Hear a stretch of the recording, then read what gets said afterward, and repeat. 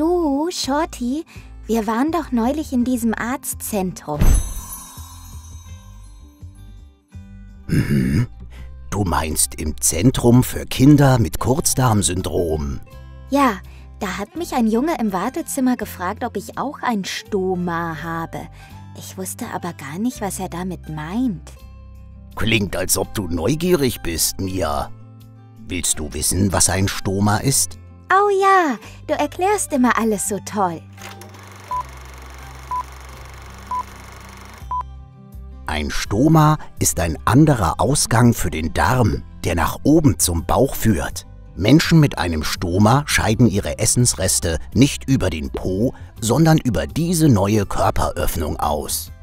Wie wird das Stoma gemacht? Das Stoma haben sie in einem Krankenhaus unter Narkose bekommen, also während sie tief und fest schliefen. Es wird aus einem Teil des Darms geformt und schaut vorne am Bauch raus. Klingt irgendwie komisch. Ist bei vielen Erkrankungen aber die Lösung. Warum? Bei manchen Leuten ist der Darm so kurz, dass sie nicht normal zur Toilette gehen können. Andere wurden am Darm operiert und sollen ihn erst einmal schonen. Dann wird das große Geschäft zum Stoma, dem Ausgang am Bauch, umgeleitet. Wie sieht ein Stoma denn genau aus? Das kommt darauf an, wo im Darm es angelegt ist. Bei einigen Leuten sieht es aus wie ein flacher Knubbel, bei anderen ragt ein kleines Stück raus. Die sogenannte Darmschleimhaut, aus der das Stoma besteht, ähnelt der Haut in deinem Mund. Sie ist rot, weich und feucht. Und wenn die Leute mit Stoma mal müssen? Mit einem Stoma lässt sich normalerweise nicht kontrollieren, wann der Darm etwas ausscheidet. Das passiert einfach so.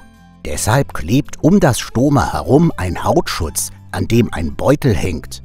Der Beutel fängt die Ausscheidungen auf. Das wird Stoma-Versorgung genannt. Riecht das? Nein, die Beutel haben Filter, durch die keine Gerüche durchkommen. Wenn man ein Stoma hat, muss man also nicht aufs Klo? Klingt gut, ich muss nämlich ganz oft. Mhm. Kinder mit einem kurzen Darm, so wie du, müssen häufiger, weil ihr Darm nicht gut verdaut und das Essen schneller durchrutscht. Aber auch mit Stoma geht man zur Toilette, um Pipi zu machen und um den Beutel zu leeren oder zu wechseln.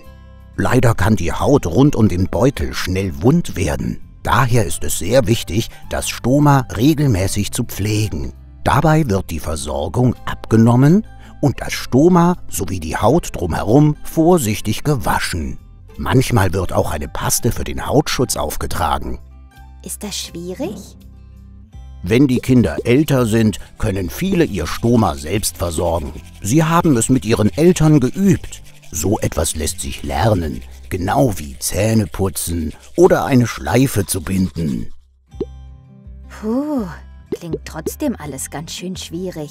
Ja, Mia, ein Stoma bedeutet viel Arbeit für eine Familie. Es zu pflegen kann anstrengend sein und nicht immer läuft alles glatt.